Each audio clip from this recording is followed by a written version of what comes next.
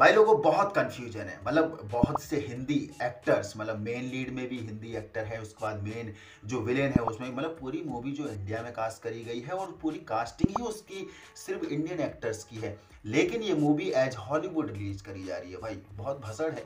वैसे monkey man movie का trailer आ चुका है, जिसमें नन अदर देन भाई मोस्ट टैलेंटेड बंदा जिसने मूवी को खुद डायरेक्शन भी दिया है स्टोरी भी खुद लिखी है और भाई साहब स्क्रीन प्ले यानी मेन लीड पर जो हीरो का काम कर रहे हैं वो भी खुद ही है और मूवी कोई छोटी मोटी लुल्ली पुच्चू नहीं है। भाई फुल एक्शन मूवी है जो बाय गॉड अगर आपने जॉन विक देखी है तो ये फुल उसको टक्कर दे रही है और ज़बरदस्त टक्कर दे रही है।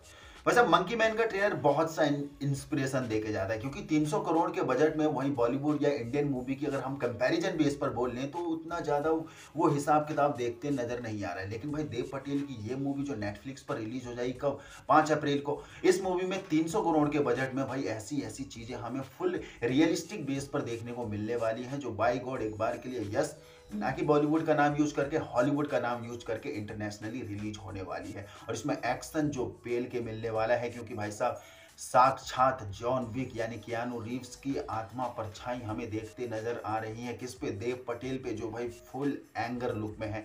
मंकी मैन का कॉन्सेप्ट बड़ा ही ज़बरदस्त है। व्हाइट मंकी का जो रिलेशन है, वो अपने मेन कैरेक्टर से देखने को मिल रहा है, जो उसकी पावर को मतलब एक बार के लिए साइलेंट है, लेकिन जब ये उग्र हो जाता है तो बहुत ही डेंजर हो जाता है। और यस, देव पटेल हमें ट्रेलर में पूरा डेंजर होते दिख रहे हैं, जो एक बार के लिए भाई नॉर्मल गाय है, जो बिल्कुल काम करता कर रहा है, अपनी जॉब के लिए भीख मांग रहा है कि यस, मुझे काम दे दो, कोई भी दे दो, मैं कर लूँगा। लेकिन दूसरी तरफ़ भाई साहब, वो एक रिंग के अखाड़े में ही जाते ही मास्क लगाकर जो भयंकर लड़ाई करते नज़र आ रहा है। भाई मुंबई में ऐसा एक्शन वो भी फुल स्किलफुल अनएक्सपेक्टेड था और ये मूवी भाई सब पूरी मुंबई छोटे से इलाके पर ये डेरिवेट करी जा रही है। दूसरा मूवी के जो नोट्स हैं भाई, वो दमदार है। मतलब ग्राफ एकदम से हाई जा रहा है देन नीचे आ रहा है। एक बार के लिए पेस स्लो जा रहा है देन वही प्लेस बहुत हाई जा रहा है। हाई पेस कहाँ पर जा रहा है भाई? एक्शन के टाइम पर। चाहे रिंग में फाइट के मामले में ले लो, वो गोरिल्ला की तरह अपने छाती पे हाथ पीटने की ले लो, या फिर वो कॉम्बैट सीन आप किचन वाला ले लीजिए जो ज़बरदस्त लग रहा है।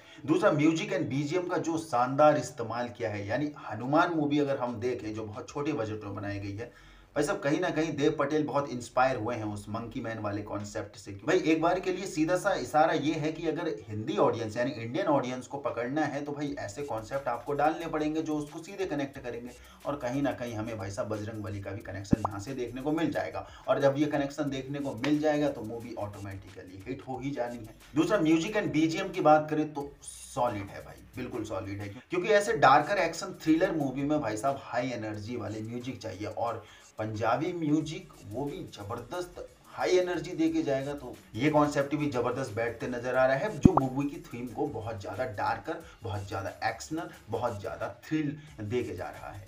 और कहीं ना कहीं देव पटेल भाई एनिमल मूवी से यानी संदीप रेड्डी वांगा से इंस्पायर हुए हैं, क्योंकि भाई साहब पूरा कॉन्सेप्ट जो है पंजाबी म्यूज़िक के दम पर चला है एनिमल में, और वही चीज़ हमें यहाँ देखने को मिलनी। तो भाई वायलेंस एंड एक्शन भर के मिलने वाला है। वेट कर लो पाँच अप्रैल का, क्योंकि पाँच अप्रैल को नेटफ्लिक्स पर यह मूवी मिल जाएगी, और आपको भी उसी दिन मिल जाएगी। आप कहाँ से मिलेगी ये आप लोग सभी अच्छी तरीके से जानते हैं। तो मूवी का वेट है भाई, अगर आपने ट्रेलर नहीं देखा है तो जाके ट्रेलर देखो, क्योंकि बहुत औसम ट्रेलर है।